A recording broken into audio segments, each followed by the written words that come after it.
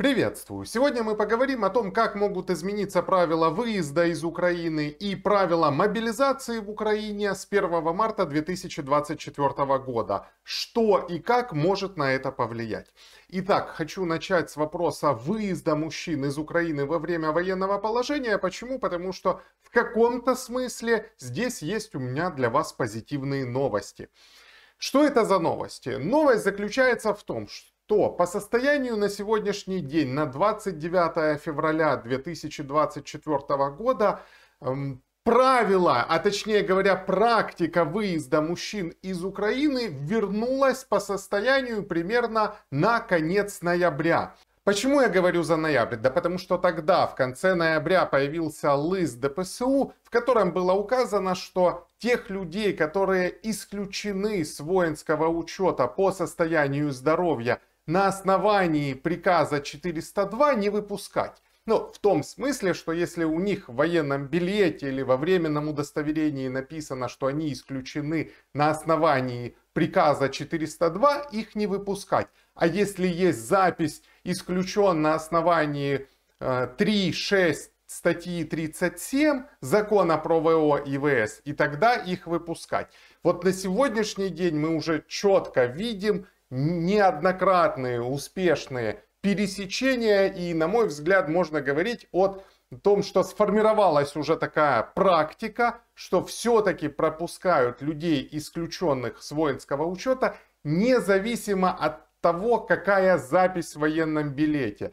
402 приказ, либо статья 37 закона ОВО ИВС. Дальше у нас последние изменения были какие? Правильно, надо было предоставить отсрочку. Независимо от того, на каком основании ты выезжаешь, у нас под Новый год начали требовать отсрочку. На сегодняшний день надо констатировать следующий факт.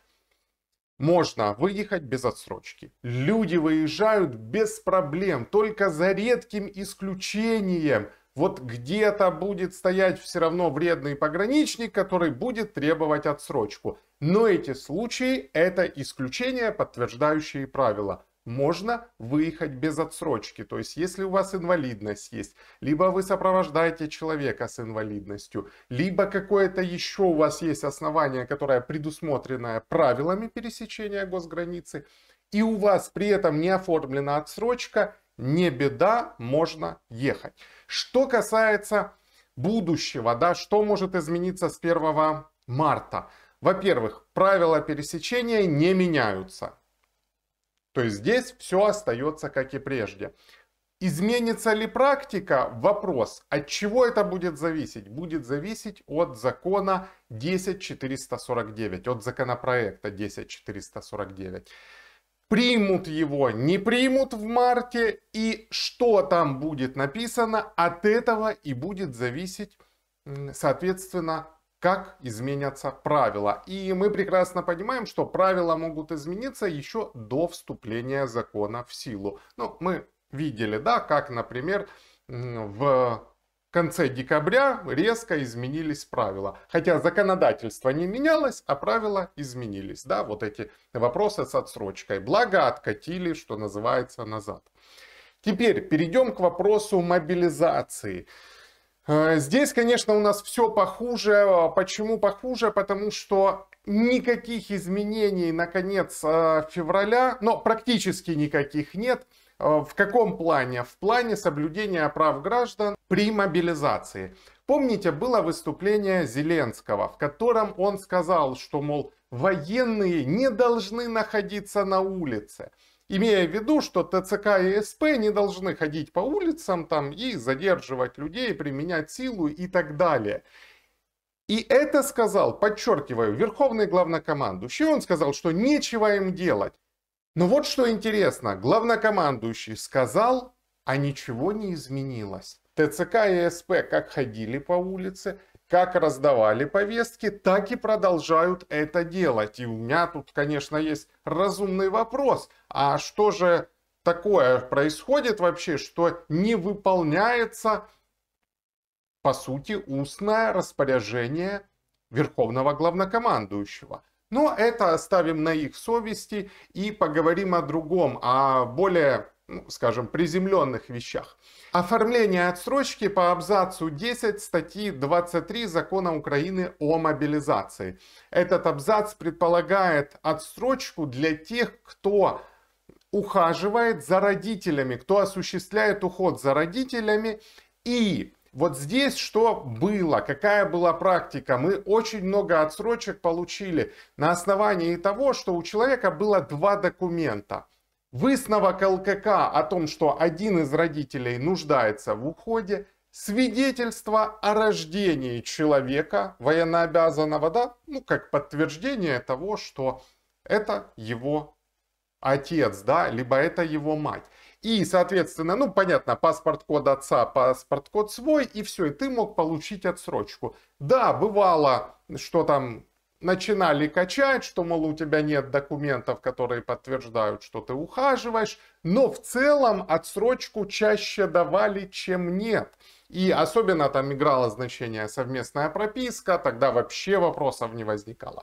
Но вот что интересно, за последние где-то 2-3 недели мы получили массу отказов. Почему я говорю, что мы получили? Потому что люди вот ко мне обращаются, да, и я от их имени пишу эти заявления на отсрочку, да, формирую пакет документов, отправляю, отправляю адвокатский запрос, и мне в ответ на адвокатские запросы теперь приходят так, такие слова, что, мол, а не подтверждено, что вы осуществляете уход.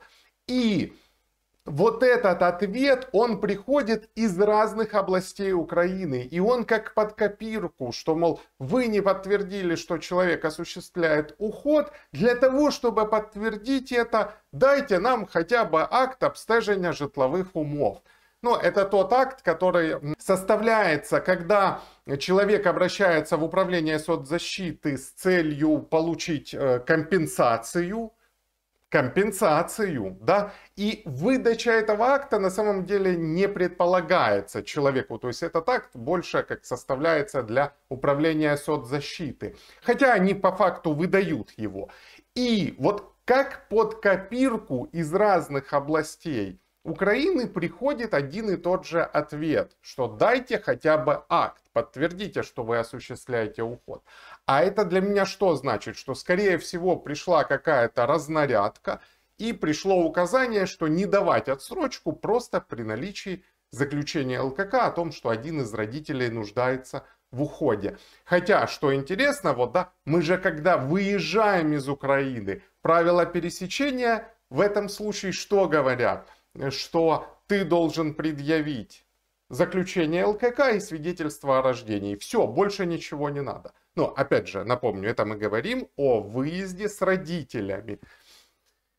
И вот э, такая интересная ситуация складывается, что отсрочку ты получить не можешь, а выехать на этом основании можешь с этими документами. И здесь, возвращаясь к предыдущему вопросу, как могут поменяться правила выезда, вот у меня есть подозрение, что они могут поменяться как раз в этой части, что будут теперь требовать при выезде с э, родителями, которые нуждаются в уходе, не только заключение ЛКК и свидетельство о рождении, но еще, возможно, и акт. Но это мое предположение, основанное лишь на тех ответах, которые мы получаем из ТЦК. А я напомню, ТЦК все-таки не влияет на вопрос выезда из Украины. И, конечно, конечно, что главное может изменить правила мобилизации в марте 2024 года это принятие законопроекта 10449 и законопроекта 10379.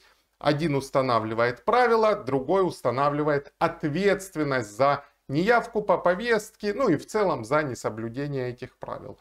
А, что по законопроекту 10449? Думаю, все уже знают, что там подано более 4000 правок. Сейчас комитет обрабатывает это. К счастью, мы уже вынуждены э, констатировать, что они не пошли по сокращенному пути, да, то есть сроки полные соблюдаются.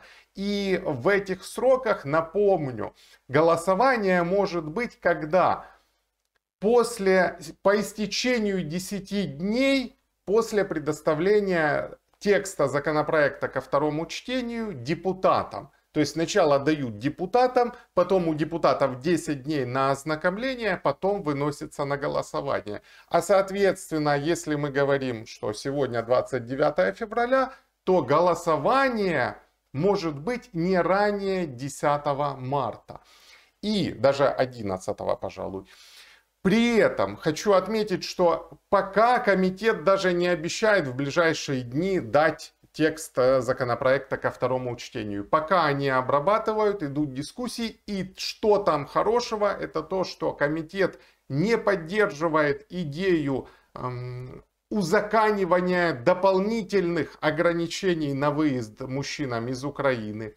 Комитет не поддерживает электронные повестки. Комитет не поддерживает электронные кабинеты как обязанность человека. И, соответственно, ну, у нас есть надежда, что вот эти моменты, плюс э, блокирование счетов, который тоже комитет выразил свое такое отрицание этого момента, да, не поддерживает он это, что все-таки в конечном варианте этого законопроекта не будет вот этих наиболее таких чувствительных моментов. Соответственно, главным фактором мобилизации в марте будет принятие либо не принятие этого законопроекта. Почему? Потому что нет других законопроектов, которые были бы уже там приняты, либо вступали в силу в марте месяце, которые бы изменяли закон о мобилизации, закон ОВО и ВС, постанову 11, 1487, прошу прощения. Вот все эти документы никакой новой редакции с 1 марта не получат. А это значит, что главное наше внимание будет сосредоточено на законопроекте 10449. И именно от него будет зависеть, какой будет мобилизация в Украине в марте. Кто-то из вас может сказать, Олег, но там же написано, что он вступает через месяц в силу. Да, но мы же знаем прекрасно, что практика применения закона может опережать, к сожалению, опережать э, его действия во времени, да, и начнут применять те нормы, которые там есть, еще до того, как э, этот закон вступит в силу. Ну, такие наши реалии, что вам говорить, вы это сами прекрасно знаете. На этом у меня все. Если вы считаете, что данное видео было вам полезным, ставим лайк, подписываемся на мой YouTube канал. Также приглашаю вас в свой Telegram канал. Его название вы сейчас видите вот здесь на экране. И традиционно пожелаю вам удачи, благополучия и, конечно же, мира. Пока-пока.